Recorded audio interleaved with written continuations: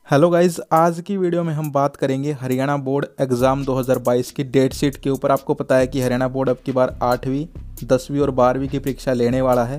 तो गाइज़ आज की वीडियो में डेट शीट के ऊपर हम बात करेंगे कि डेट शीट कब तक आएगी और साथ ही साथ एक बड़ा डाउट जो है, ये है कि भाई एग्ज़ाम है, वो हमारे किस मोड में होंगे, ये भी बार बार आप लोग पूछ रहे हो तो इसके बारे में भी आपको थोड़ा सा बता देंगे।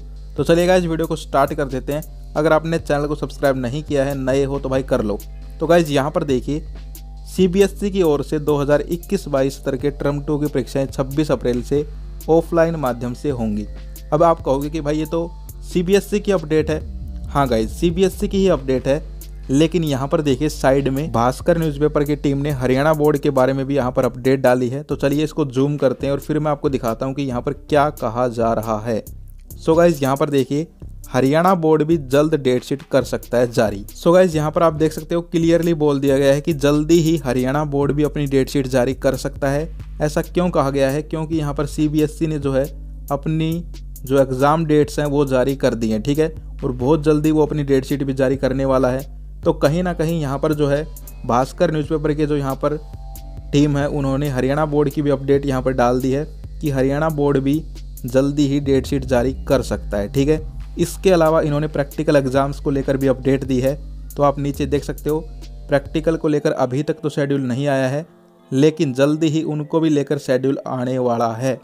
तो गाइज़ यहाँ पर आप देख सकते हो, हरियाणा बोर्ड है, वो इतनी ज़्यादा लेट नहीं करने वाला। इन्होंने कहा है कि जल्दी ही आपकी डेट शीट आ जाएगी, ठीक है? और एग्ज़ाम से कहीं ना कहीं 20 या 25 दिन पहले डेट शीट आती है, उसके बाद एग्ज़ाम स्टार्ट हो जाते हैं। तो कहीं ना कहीं आप ये मान के चलो कि भाई हरियाणा बोर्ड जो है वो पूरी प्लानिंग कर रहा है कि आपके जो एग्ज़ाम्स हैं, वो मार्च, अप्रैल के अंदर कंडक्ट करवा लिए जाएँ, ठीक है? सीबीएसई तो भाई बहुत ज़्यादा आगे चला गया है, मई के अंदर चला गया है, क्योंकि उसने 26 अप्रैल से ही स्टार्ट किए हैं। तो 26 अप्रैल से लेकर पूरे मई तक चलेंगे उनके, ठीक है? और फिर कब उनका रिज़ल्ट आएगा भाई, बहुत ही लेट कर रहा है वो तो। लेकिन हरियाणा बोर्ड है, अब जल्दी ही डेट शीट जारी कर सकता है, आपने देख ली अपडेट यानी कि यार आप लोग सभी तैयार हो जाइए। इस वीडियो का मकसद यही है कि आपको एक बार अवेयर कर दूँ आपको बता दूँ कि भाई जल्दी ही डेट शीट आ सकती है। अपनी प्रिपरेशन स्टार्ट कर दीजिए, ठीक है? इन्होंने कोई डेट यहाँ पर कन्फर्म नहीं बताई, लेकिन इन्होंने यहाँ पर जो है, जो भी इनके पास अपडेट आई हरियाणा बोर्ड की तरफ़ से, उस हिसाब से लिख दिया कि भाई जल्दी ही डेट शीट है, वो आ सकती है, ठीक है?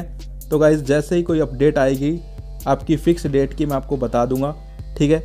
अब बात करते हैं यहाँ पर, देखिए, जो एट्थ क्लास के हैं, उनके थोड़े लेट हो सकते हैं, लेकिन टेंथ और ट्वेल्थ के एग्ज़ाम हैं वो यहाँ पर बिल्कुल टाइम पे होंगे, जैसा उनका टाइम है हरियाणा बोर्ड का, ठीक है?